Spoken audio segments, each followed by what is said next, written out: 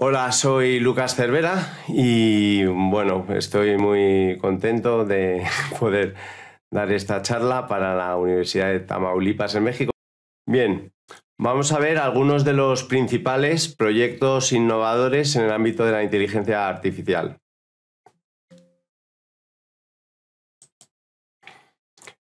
El primero tiene que ver con eh, la generación de imágenes y es que una cosa que es alucinante es que eh, las inteligencias artificiales que han evolucionado muchísimo en cuestión de meses, ahora mismo pues permiten, entre otras cosas, generar imágenes a partir de un texto que le introduces, ¿no? Una descripción con un texto, en este caso, por ejemplo, sería un gato tocando la guitarra y vamos a ver algunos de los contenidos que nos genera con esa instrucción de, texto.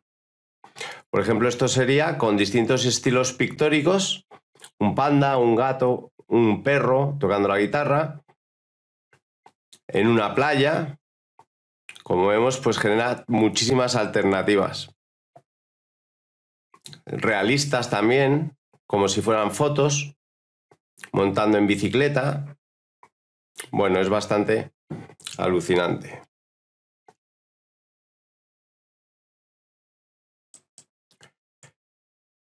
También puede hacer fotos de personas. Todo esto se alimenta de una gran base de datos de muchísimas fotos que le sirven para, generar, digamos, por ejemplo, aquí le hemos puesto como texto, eh, hazme una foto del príncipe Carlos con tatuajes, con un unicornio en el hombro y con gafas de sol y fijaos lo que saca, ¿no? Es claramente reconocible y parece casi casi una foto real y esto aumenta la calidad a nivel de días, casi prácticamente en días. Una aplicación que tiene y que me ha resultado bastante curiosa es ver cómo serían hoy personas que fallecieron hace tiempo. Entonces vamos a ver, estas imágenes son eh, hechas por un fotógrafo, este sería Freddie Mercury, Michael Jackson, eh, Kurt Cobain, Jimi Hendrix, John Lennon. Entonces estas imágenes las eh, creó un fotógrafo utilizando un motor de inteligencia artificial y luego las retocó un poco. Esto también tiene mucho sentido ya que se habla mucho de que la inteligencia artificial va a acabar con el trabajo de muchísimas profesiones, ¿no? Y bueno, pues también hay una forma de enfocarlo de forma que como si fuera una herramienta que, está a tu disposición y que sobre la que puedes trabajar. Es lo que ha hecho este fotógrafo. También se puede alimentar con modelos tuyos, el modelo con imágenes tuyas o de cualquier cosa que quieras. En este caso yo le he facilitado unas cuantas imágenes mías desde distintos ángulos. Entonces hay un proceso en el cual se entrena el modelo y ya reconoce pues lo, lo que sea. En este caso yo dije, este es Lucas, Lucas es un hombre y luego ya le puedes pedir contexto, por ejemplo, en este caso habréis notado alguna diferencia ¿no? con mi, hoy, mi yo eh, actual. Y es que le he pedido que me haga un peinado ochentero. Y fijaos, lo ha abordado. Es un mullet eh, eh, muy típico de los 80. Y bueno, la foto está bastante creíble, aunque cueste visualizarme con tanto pelo. Si eh, está haciendo esto con imágenes la inteligencia artificial, también podría hacerlo con vídeo, ¿no? Y así es. Al final los vídeos son una sucesión de imágenes, aunque eh, detrás de generar vídeos hay mucho más que simplemente ir, generando una imagen tras otra. Y este sería el ejemplo de un, a partir de un texto en el que dices, eh, hazme un vídeo de un perro volando con una capa de Superman y gafas de sol, pues fijaos lo que ha hecho. Esta, esta tecnología que es una de Meta, el antiguo Facebook, tiene ya algunos meses y ahora se generan vídeos de mucha más calidad. Y es que esto avanza en cuestión de horas. Otra, eh, aplicación que ha surgido, eh, todos conocemos que hay, bastantes aplicaciones que te permiten borrar, por ejemplo, el fondo de una foto o una determinada persona que está en una foto. eh, pues también se puede hacer con, con vídeo, ¿no?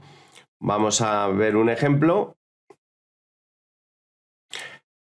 Eh, con esta aplicación simplemente tienes que seleccionar el vídeo, tú cargas el vídeo que quieres quitar con el fondo. Aquí, por ejemplo, pues se cuela en una entrevista una niña muy simpática andando así en, el despacho de su padre, ¿no? Y vamos a ver cómo con esta aplicación, pues simplemente se selecciona lo que quieres borrar del vídeo y eh, em, pues lo borra, ¿no? Aquí estamos seleccionando a la niña con el cursor diciéndole esto es lo que quiero borrar del vídeo y veremos que ya lo ha borrado y ahora pues ya no está en, el vídeo.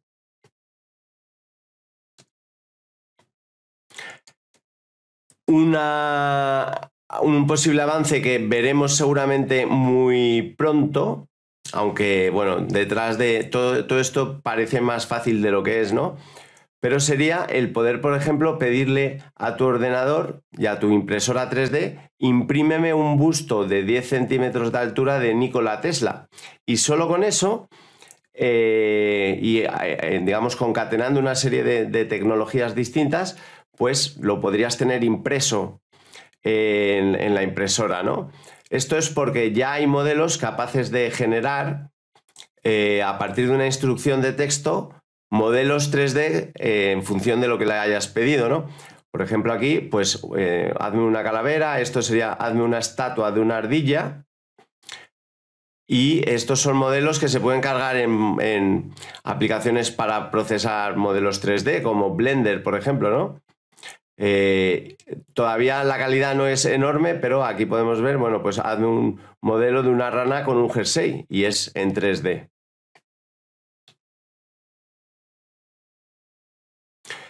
Eh, imaginaos la cantidad de posibilidades que surgen si juntamos robótica, que está avanzando muchísimo, por un lado, e inteligencia artificial por otra. Y este sería un ejemplo de típico robot doméstico que, bueno, siempre ha habido y siempre em, hemos visto en las noticias ¿no? que, que hay robots que pueden hacer tareas, por ejemplo, de la casa. Lo interesante de este robot es que no está preprogramado para hacer tareas concretas, sino que si tú le dices, por ejemplo, límpiame los platos o él ve que se ha vertido un vaso y hay agua en el suelo, es capaz de identificar una fregona, coger la fregona, pasarla, es capaz de, eh, sin, sin haber estado previamente programado para esas tareas concretas, entenderlas e interpretarlas y ejecutarlas. Luego también se puede cambiar la, voz. Eh, a esta aplicación tú le subes o le grabas directamente un, audio.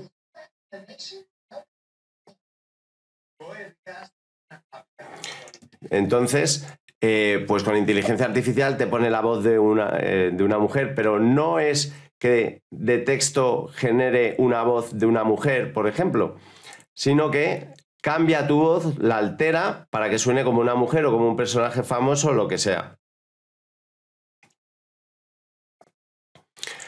También eh, para hablar idiomas y mejorar el acento con el que hablas un idioma extranjero, nos puede ayudar la inteligencia artificial. Imagínate que tienes una conferencia con un cliente eh, indio, ¿no? Y tu, inglés, pues se nota que tienes mucho acento español, pues esto en tiempo real mejora tu acento y lo hace más fácil de entender, ¿no? Es bastante increíble. Otra cosa que puede hacer la inteligencia artificial es crear un avatar tuyo con una enorme facilidad, ¿no? Básicamente un avatar que puedes usar en el metaverso cuando llegue o donde quieras, ¿no? Porque no deja de ser un modelo en 3D. Y lo curioso de esta aplicación es que eh, simplemente a partir de tu teléfono móvil te genera este modelo, ¿no? Al cual tú le puedes, por ejemplo, en, este caso, está hablando a partir de un texto que le han pasado y está generando esa voz y parece que está hablando. Esto es el avatar, ¿no? Em, esta es la chica escaneándose con un móvil, simplemente lo pasa así, hace unos gestitos ahí raros y le genera su avatar directamente.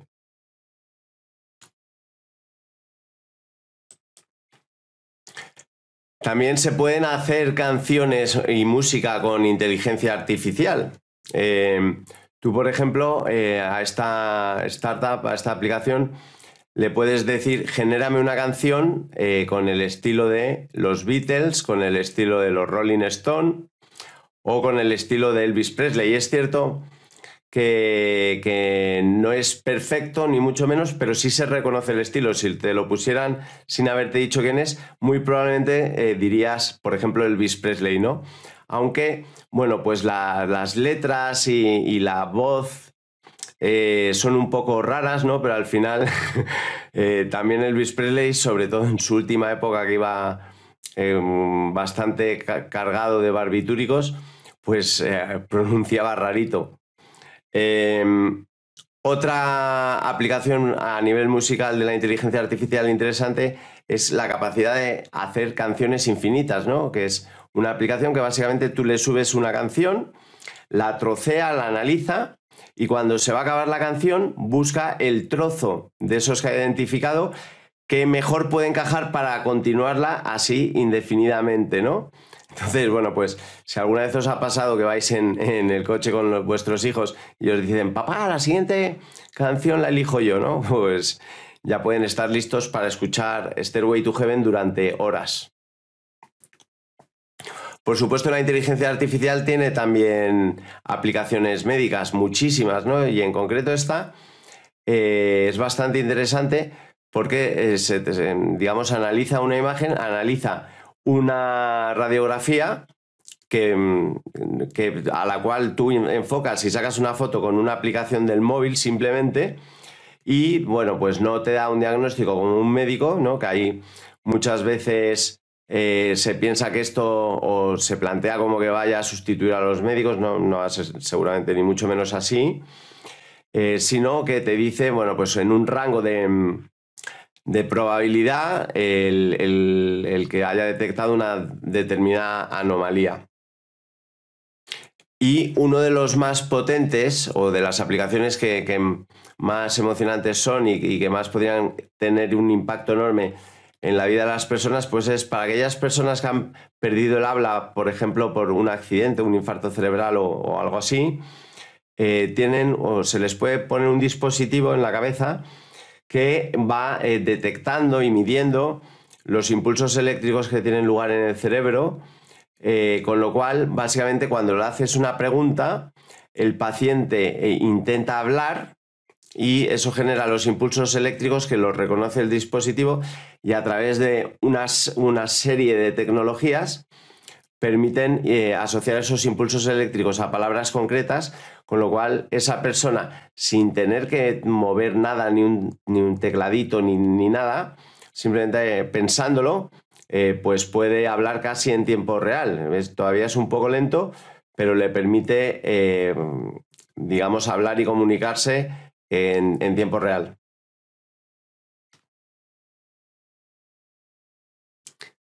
Las innovaciones no son siempre técnicas, ¿no? De hecho, una de las formas mejores de innovar se trata de innovar en, la experiencia de usuario, mejorando la experiencia de usuario.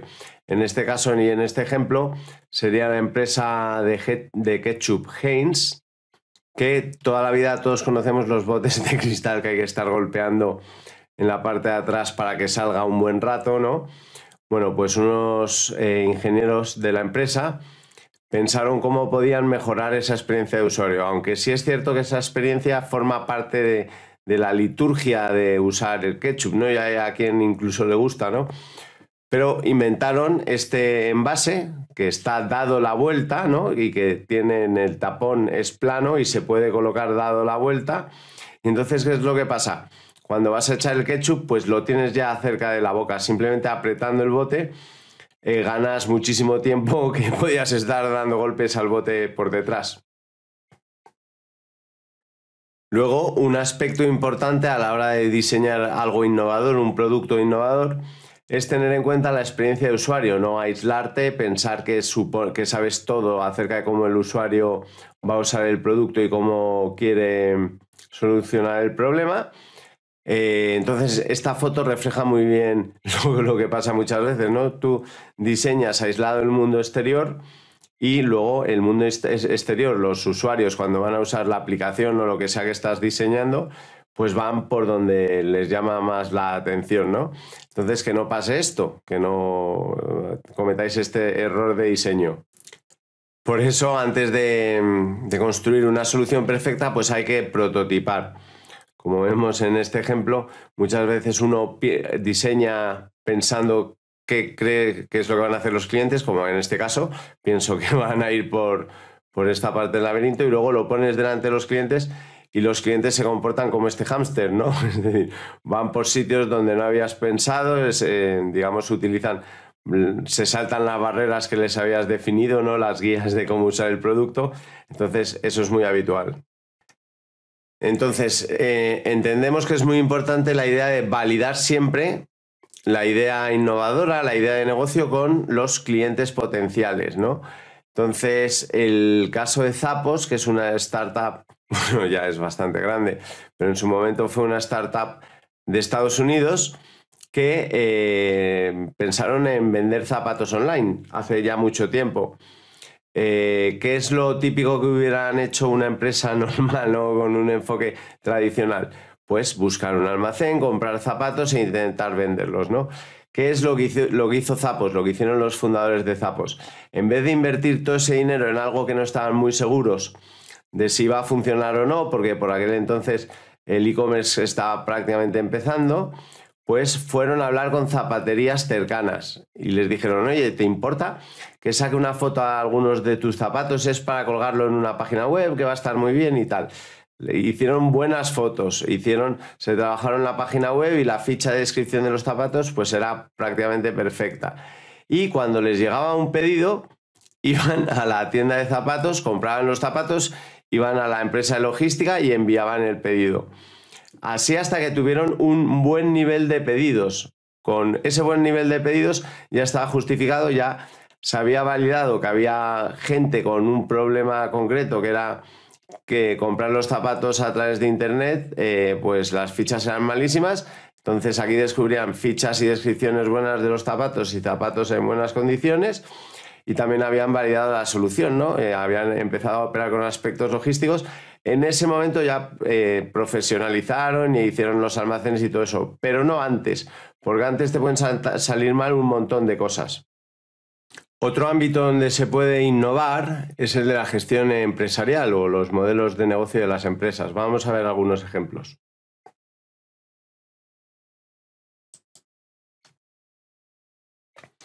En primer lugar, la innovación en modelos de negocio, que es pensar o cambiar la lógica de la habitual que utilizas o que se utiliza en tu industria a una lógica nueva que explique cómo ganas dinero. En este caso, vamos a hablar de Costco, que es una cadena de supermercados americana que cambió el modelo de negocio y fue el secreto de su enorme éxito. Generalmente los supermercados pues tienen un pequeño margen en cada producto que, venden y Costco lo que hizo fue, en vez de, obtener el dinero o los beneficios de, ese pequeñito margen, eh, lo centró todo en una suscripción que exigen a sus clientes, que son más o menos unos 60 dólares al mes, al año, perdón, y que les permiten comprar a unos precios bastante, bastante, bastante bajos.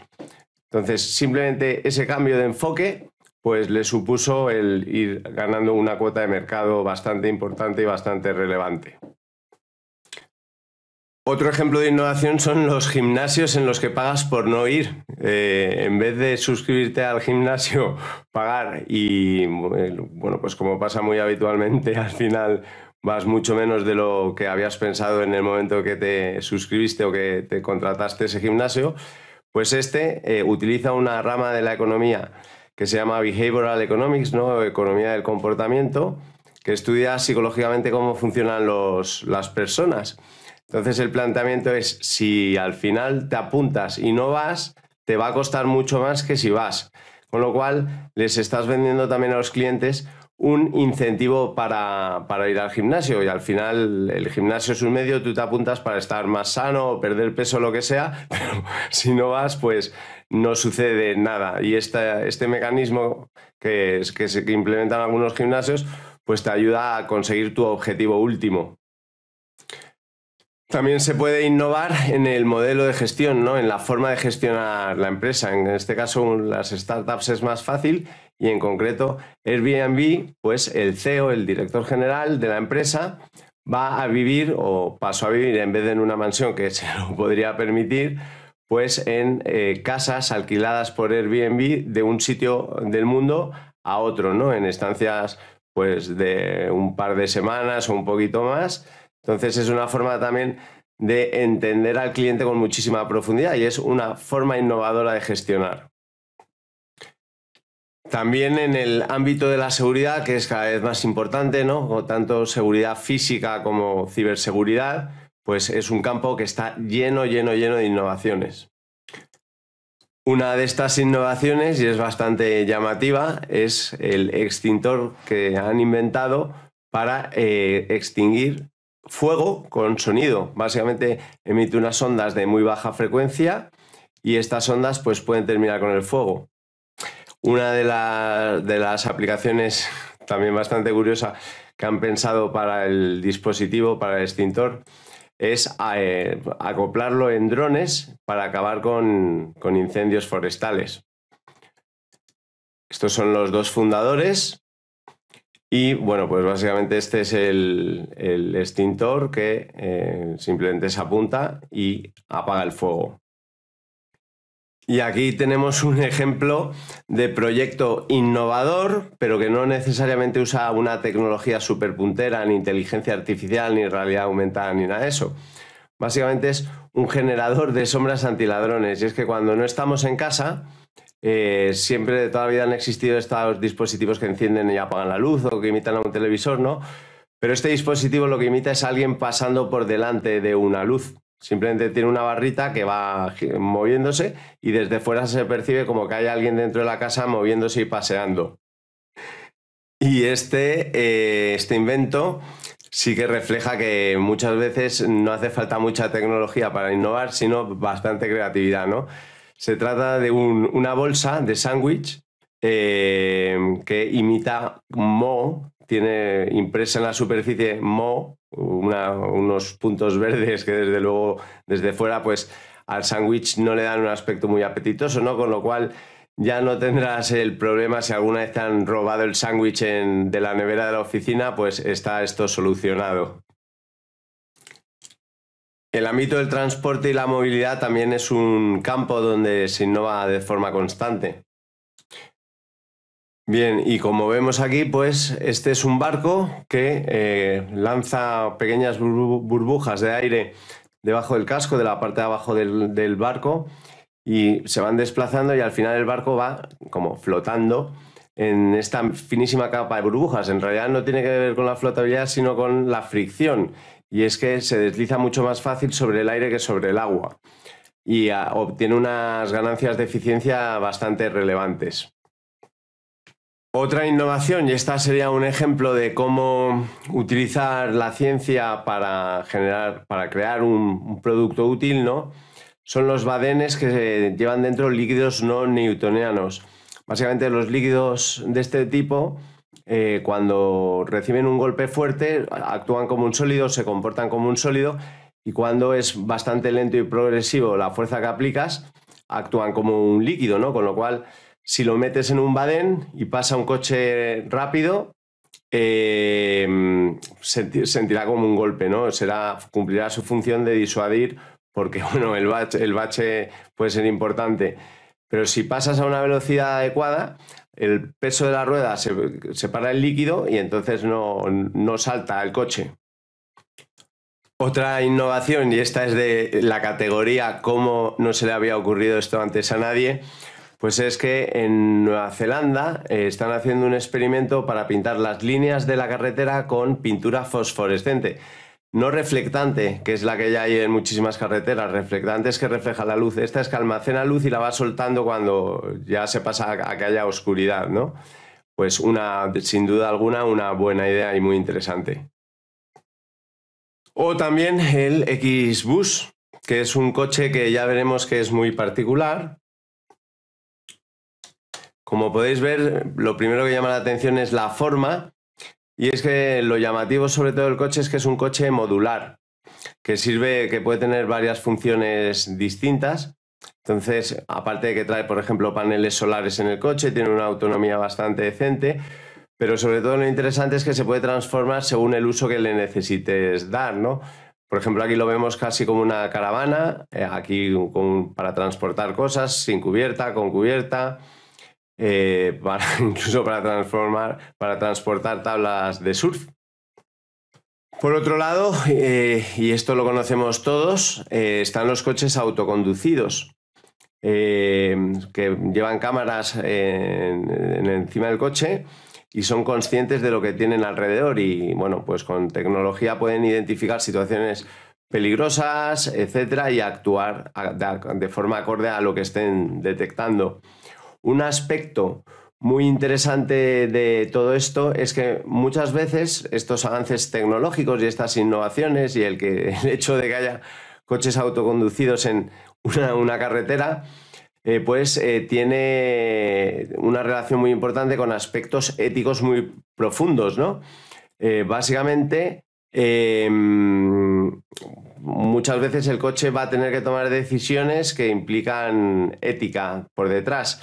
Por ejemplo, si este, este experimento eh, es una página que te plantea distintas situaciones y te pregunta cómo, cómo actuarías tú si fueras el coche.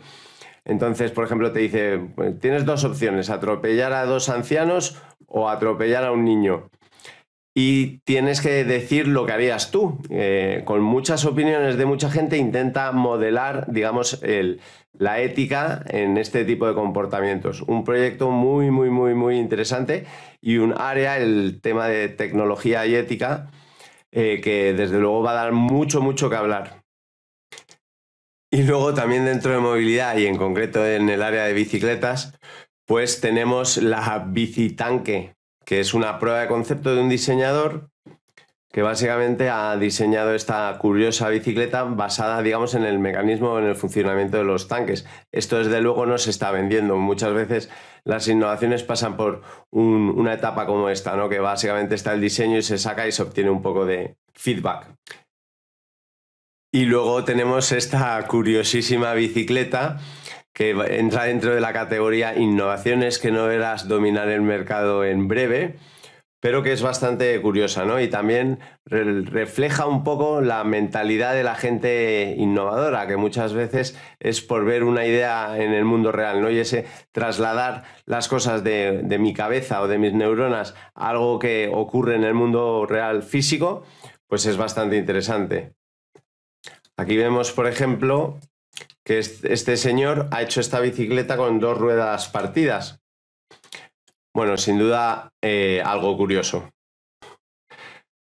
Como también es curiosa esta forma de cambiar las ruedas, digamos, de una bicicleta, ¿no? Eh, a veces eh, en determinados trayectos vas, por ejemplo, por carretera y luego por barro o montaña y no vas a llevar la mochila ruedas para cambiarlas, ¿no? Bueno, pues este sencillo mecanismo, simplemente con una cremallera, te permite cambiar la parte exterior de las ruedas para, cambiarlas si necesitas distintos tipos de agarre.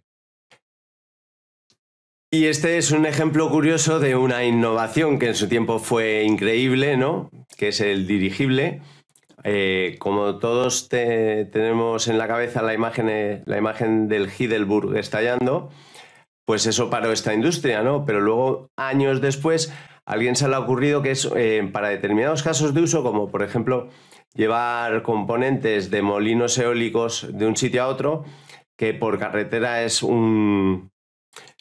por carretera son muy difíciles de, llevar, de transportar y tienen muchísimo coste, pues con un dirigible eh, lo puedes llevar al sitio que quieras, simplemente dejarlo caer a través de unas cuerdas que se alargan, ¿no? No hay ni que aterrizar ni nada. Con lo cual, pues eso, a veces invenciones que en su momento no tuvieron éxito, pues tienen una segunda oportunidad. Y como no, también se innova en el mundo de la construcción, que muchos de vosotros conocéis muy bien, mucho mejor que yo. Em, por ejemplo, una de, las innovaciones que para vosotros ya estará, ya estará totalmente conocida y será parte de vuestro día a día, pero mucha gente todavía em, no conoce estas, estas técnicas y le siguen sorprendiendo, ¿no? Una de ellas es Bubble Deck, que son pelotas de, de plástico reciclado que se ponen en la parte donde vas a echar hormigón y reducen hasta en un 35% la cantidad de hormigón necesaria, ¿no? Esto aligera las estructuras, etcétera, sin que pierdan demasiada fuerza.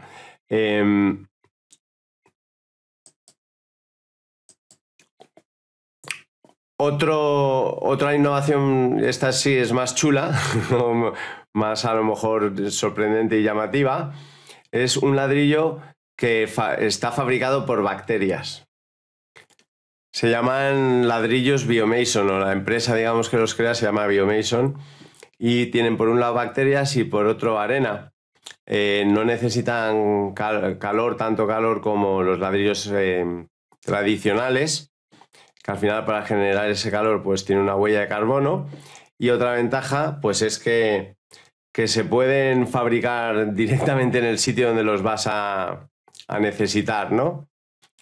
Eh, estas son las bacterias que, crean el ladrillo, de forma similar a cómo se crean las conchas en, el mar, ¿no? Los moluscos. También tenemos el cemento que se autorrepara. Y es que, bueno, como todos sabemos, el cemento a, lo largo del tiempo, con el paso del tiempo, a veces se agrieta y eh, este cemento incluye unas bacterias que están ahí como dormidas ¿no? y que cuando eh, en contacto con el oxígeno y el agua eh, despiertan ¿no? y empiezan a, crear calcita, con lo cual van reparando esas grietas. Otra innovación muy interesante es el de las casas prefabricadas, ¿no? que llevan existiendo toda la vida pero hasta ahora pues muchas veces parecen una cosa un poco cutre. Eh, bueno, y se están haciendo casas súper bien diseñadas, em, con los espacios eh, y el interior optimizadísimo, con todos los sistemas de placas solares, etcétera, integrados y que son de lujo y tienen precios también de lujo y muy, muy altos. Aquí podemos ver el ejemplo de una que desde luego es una casa porque no está nada mal para vivir, ¿no? muchísimo cristal, elegante. Hay distintos tamaños. Y otra cosa curiosa es que puedes configurarla como la quieres en su página web. De hecho, se rumorea que Elon Musk vive en una casita estas muy cerca de su fábrica, ¿no? Él dice que duerme muy poco y desde luego con el, que hacer suyo diario, pues no le vendrá mal tener una casa pequeñita cerca del trabajo. De hecho, se rumorea que Tesla va a comprar esa empresa, la empresa fabricante de estas casas, ¿no? La casa se llama Casita y la empresa se llama Boxable. Y luego otra innovación, o a lo mejor más está más en el lado de invención todavía, eh, porque a ver el valor que aporta, pero bueno, eh, aunque sea algo de laboratorio es interesante, es qué pasa si juntamos un dron con una impresora 3D, ¿no? Y tenemos estos eh, drones que van soltando foam o cemento y, casi como si fuera una impresora 3D, capa sobre capa, capa sobre capa.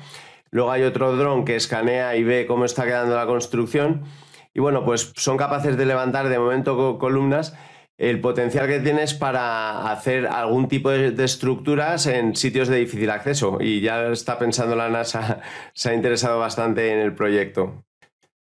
Desde luego, uno de los ámbitos donde más se innova, afortunadamente, y donde más recursos se destinan a la innovación, pues es el de la medicina y la salud.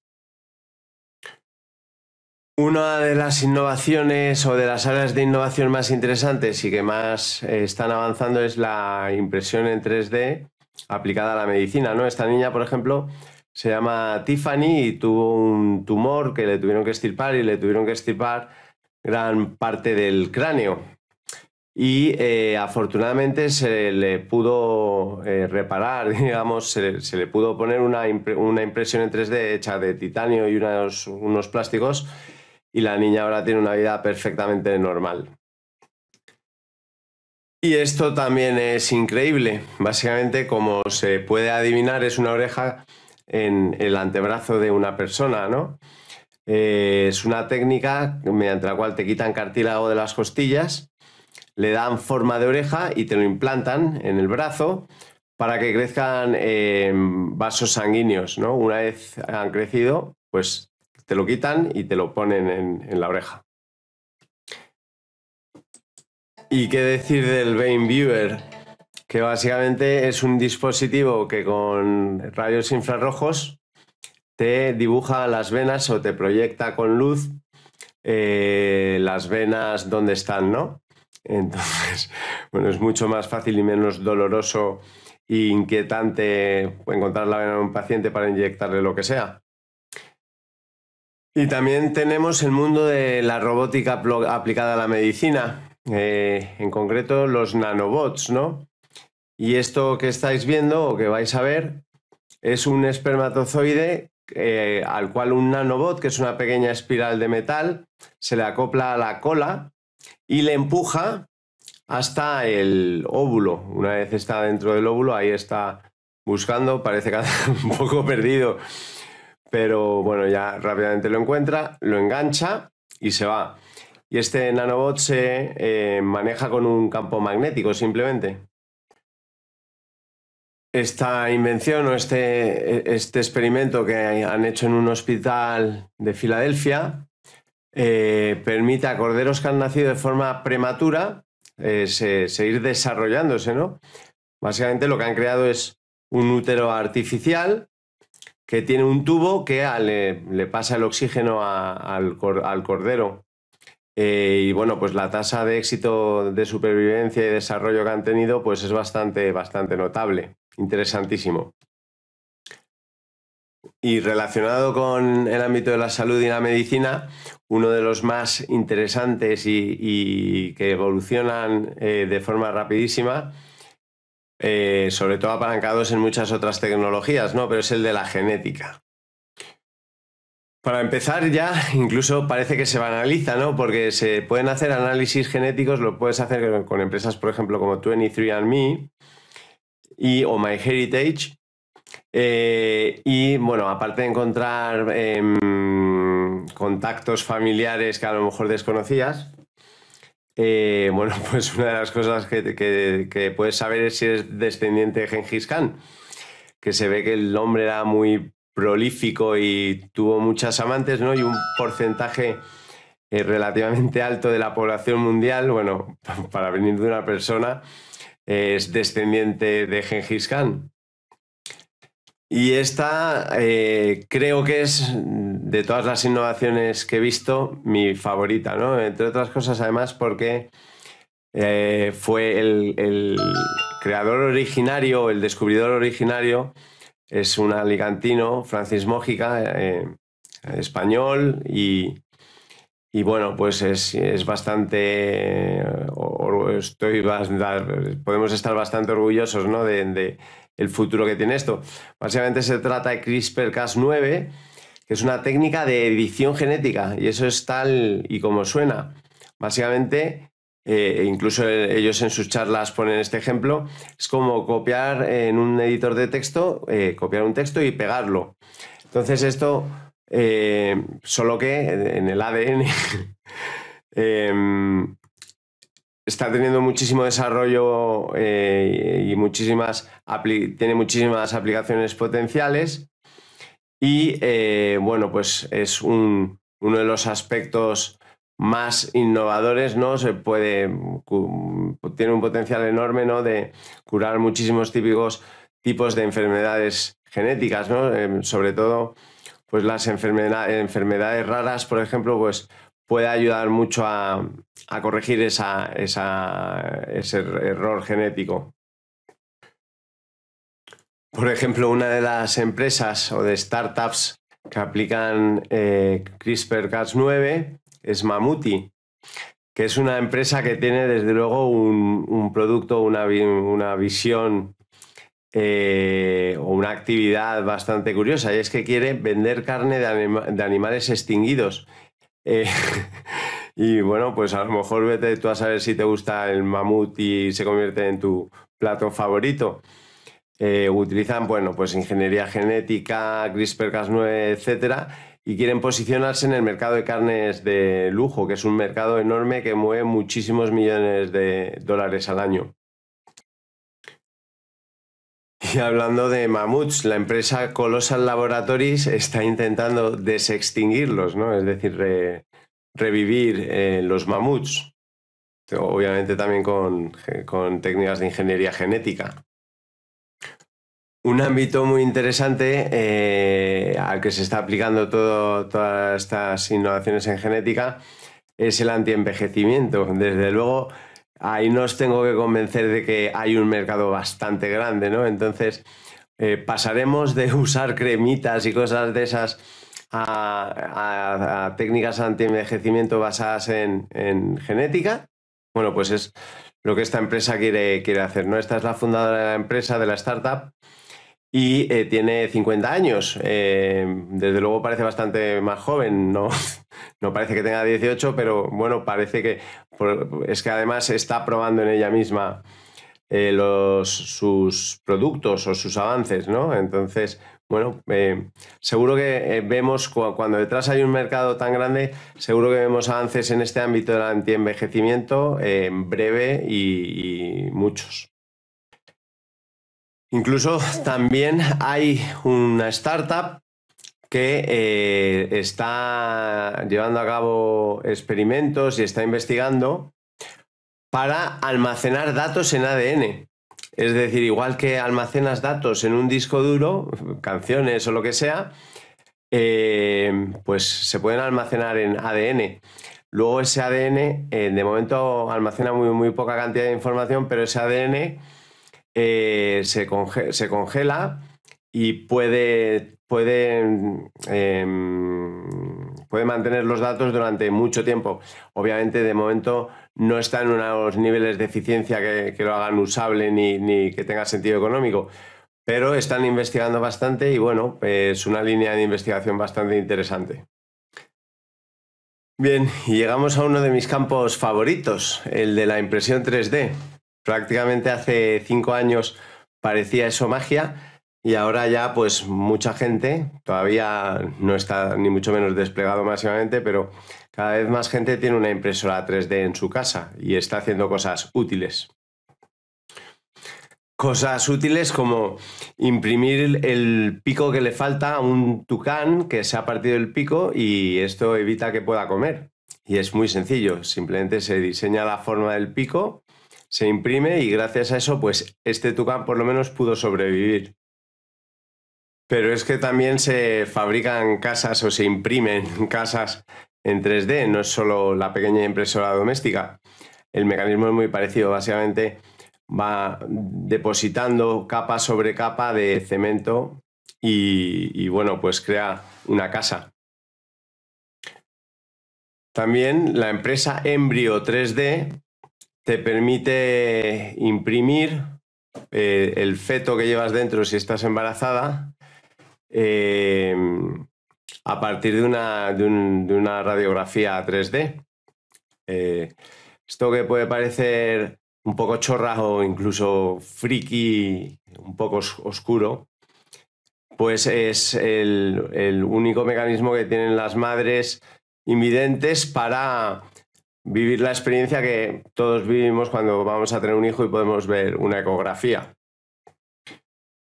Y bueno, todos sabemos cómo funciona una impresora 3D normal, ¿no? Básicamente tiene un cabezal, un extrusor que va en vertical y va depositando filamento capa, capa, capa, capa. Eh, pero esta, eh, esta impresora 3D que han inventado bascula y tiene un ángulo, ¿no? El problema uno de los problemas que tienen las impresoras 3D es que a veces necesitan imprimir em, sobre superficies que no tienen nada debajo. Y entonces eso lo hace prácticamente imposible o hace que tenga que haber unos soportes, ¿no? Bien, pues con esta impresora 3D que tiene el extrusor en un ángulo de 45 grados, pues se pueden hacer formas eh, como una seta eh, en la que la parte de arriba pues no tiene nada debajo.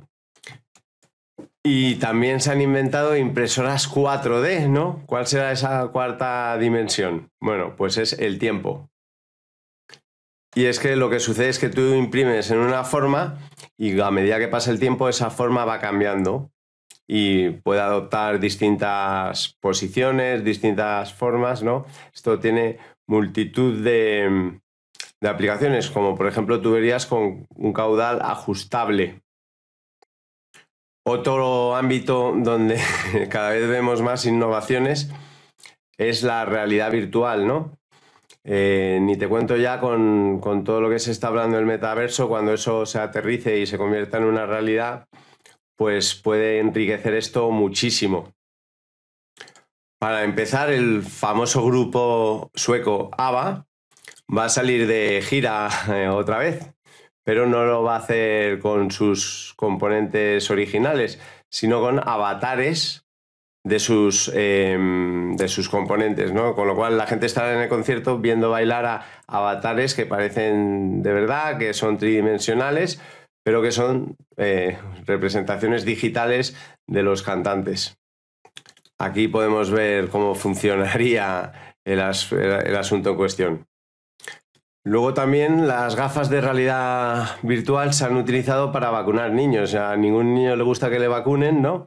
Le ponen estas gafas y simplemente se acerca un duendecillo. Ellos lo que perciben es que se está acercando un duendecillo que les da un pequeño pellizco en el hombro y bueno, en realidad pues les están vacunando, pero lo hace mucho menos traumático. También se puede utilizar la realidad virtual para curar fobias de ir en un ascensor porque es muy pequeño, por ejemplo, de volar o miedo a las serpientes, etc. Miedo a las alturas. Entonces todo esto recrea escenarios, esos escenarios a los que tienes miedo y te puedes enfrentar en un entorno más o menos seguro, bueno, es bastante seguro, a tus fobias y bueno, con la repetición se supone que se curan. Y ya están disponibles también lentillas de realidad aumentada, ¿no? Dentro de poco ni siquiera tendremos que ponernos esas gafas que parecen bastante incómodas, sino que directamente llevaremos una lentilla en un ojo y nos podrá dar información, por ejemplo, de la persona con la que estamos hablando, sus datos, etcétera, o de paisajes. Eh, eso se llama realidad aumentada, ¿no? Es unas proyecciones sobre la realidad que estás viendo. Desde luego, otro ámbito donde se innova muchísimo es en la exploración espacial. Y este es el proyecto Spin Launch, que básicamente es un círculo enorme donde se pone a dar vueltas a toda velocidad un cohete y cuando está, se, ha, hecho el vacío dentro y cuando llega a una determinada velocidad lo lanza como si fuera la onda de David contra Goliath y bueno, cuando ya está muy arriba y va perdiendo fuerza, pues ya utiliza combustible, pero necesita muchísimo menos combustible, que es una de las razones por las que los cohetes son tan grandes, porque necesitan mucho combustible, porque pesan mucho, porque tienen mucho combustible. Y bueno, habíamos hablado de las impresoras 3D y de la exploración espacial, pues aquí se juntan las dos cosas. Básicamente hay partes o componentes o hay una startup que utiliza impresoras 3D de, metal para imprimir partes de los cohetes. Y bueno, no me da tiempo a entrar en detalles, pero también en el ámbito de la agricultura, o por lo menos de agricultura a bajo nivel, pues están estas eh, especies de impresoras 3D, que los mecanismos son muy similares, que plantan las semillas, riegan, eh, matan los bichos eh, y tú lo programas todo desde un tablet, básicamente. También hay duchas inteligentes que reusan el agua, haciéndola circular hasta tres veces, eh, ya que el, agua, la mayor parte del agua de una ducha, ni siquiera toca el cuerpo y ya se desperdicia, ¿no? Entonces esta lo recircula. Bueno, y hasta aquí ha llegado mi charla. Espero que os haya gustado, espero que por lo menos os haya eh, generado un poquito de interés por la innovación, ¿no? Eh, que salgáis de aquí con la impresión de qué es lo que ocurre en la realidad, ¿no? De que esto avanza por minutos, ¿no? Que es un campo interesantísimo y que sobre todo en, el ámbito universitario el tener una predisposición y una actitud correcta y, proactiva y positiva con la innovación, Pues es muy importante y espero que la, apliquéis vosotros en el desarrollo de vuestras carreras profesionales. Muchas gracias.